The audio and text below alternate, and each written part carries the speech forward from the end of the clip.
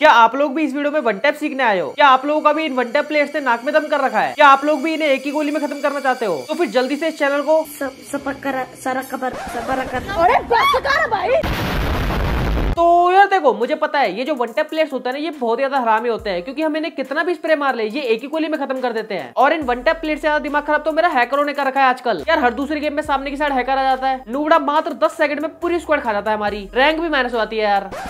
खैर इन हैकरों का तो मैं कुछ नहीं कर सकता लेकिन इन वन टैप प्लेयर्स को वन टैप मारने का मेरे पास पूरा पूरा सोल्यूशन है। और मुझे पता है आप लोग वन टैप में कहाँ कहाँ गलती करते हो? आप लोग जब भी वन टैप मारने के लिए जाते हो तो आप लोगों के अंदर बिल्कुल भी कॉन्फिडेंस नहीं होता। जैसे कि जो बंदे अपनी आईडी में हैक लगाकर खेलते हैं उनका कॉन्फिडेंस लेवल सातवें आसमान पे होता है और मुझे तो लगता है उससे ऊपर ही होता होगा। क्योंकि उस हैकर को पता होता है कि उसे सामने वाले का हेड देखकर तो ड्रैग करना नहीं है। उसे बस ड्रैग करना है सामने वाले का हेड अपने आप बीच में आ जाएगा। लेकिन अगर आप लोगों को एकदम परफेक्ट वन टैप मार रहे तो बस आप लोग देखते जाओ, आज से आप लोगों के दोस्त आप लोगों को वन टैपर बुलाएँगे। और अगर आप लोग आज का ये वीडियो देखने के बाद वन टैप नहीं मार पाए तो आप लोग बिना सोचे समझे इस चैनल को सब्सक्राइब करके चले आना, मैं आप लोगों को कुछ नहीं बोलूँगा।